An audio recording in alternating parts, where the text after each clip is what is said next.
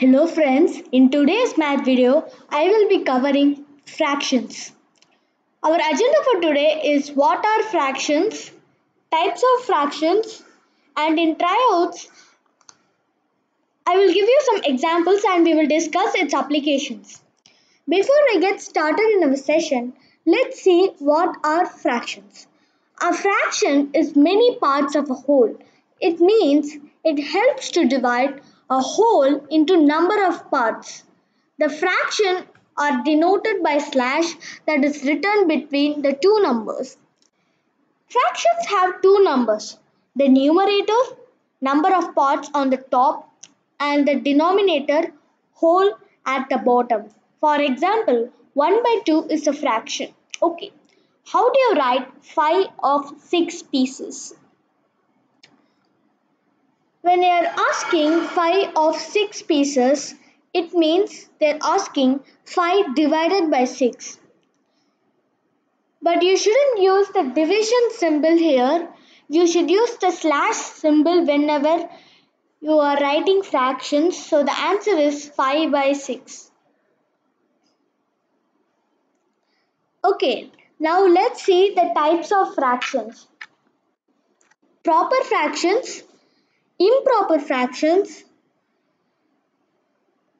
mixed fractions, like fractions, unlike fractions, equivalent fractions and decimal fractions. Okay, now let's look at each type of fraction clearly with examples.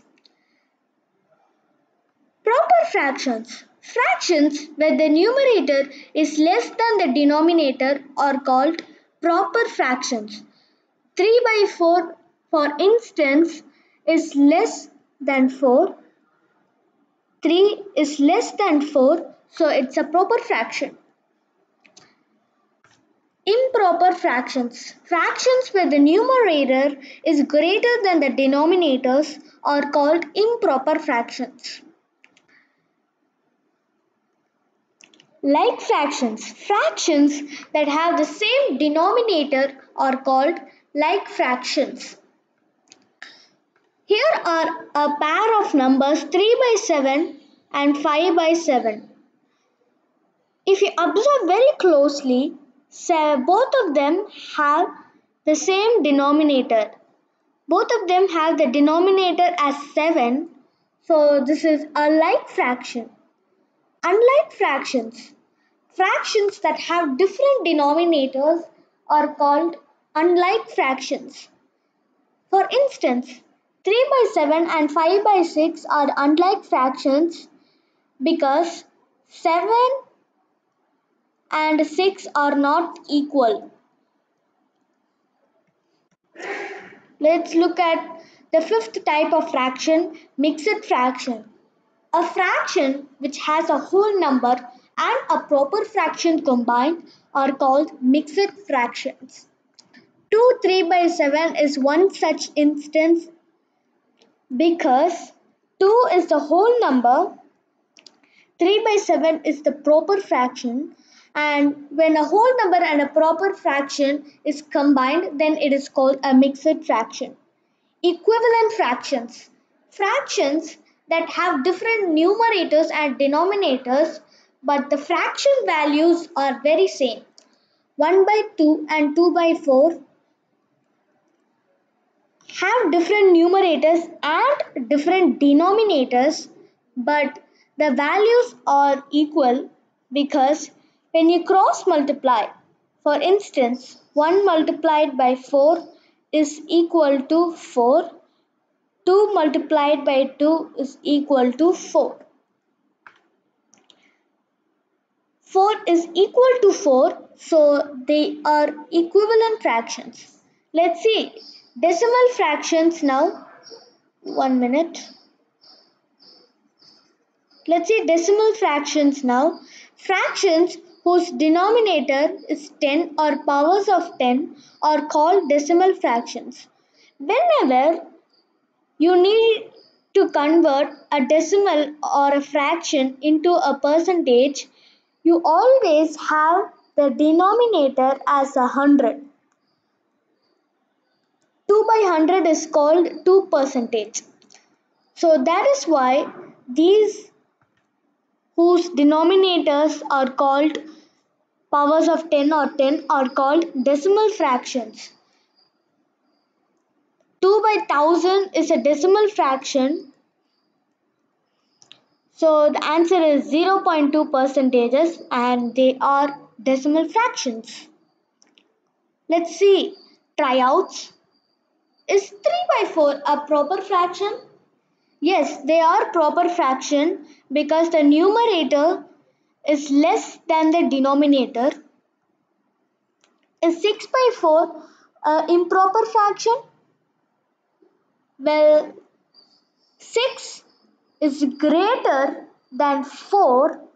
So, yes, they are improper fractions.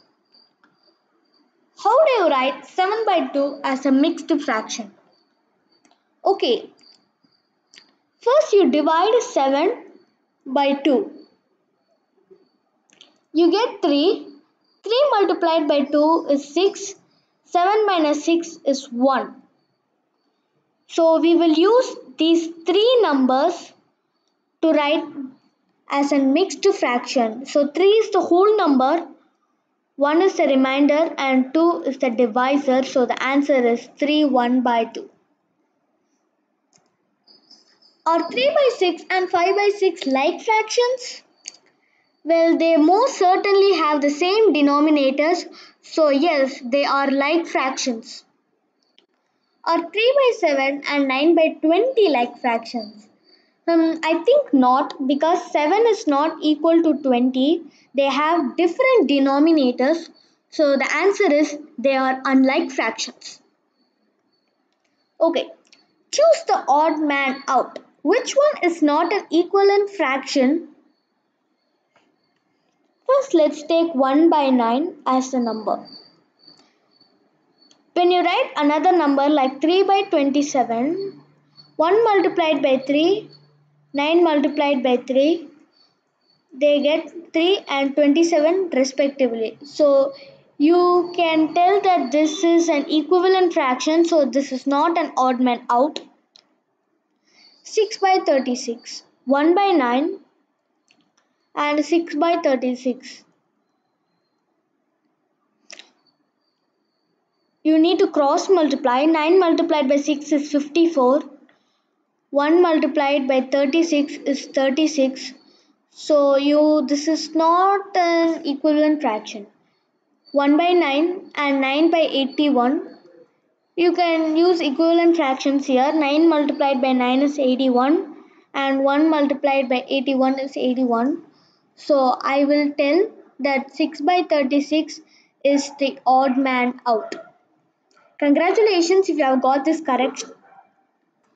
So thank you for watching till the end guys. I will visit you with more videos in this week on fraction addition, subtraction, multiplication, division and fraction comparison also. So stay tuned to that. Until then, goodbye.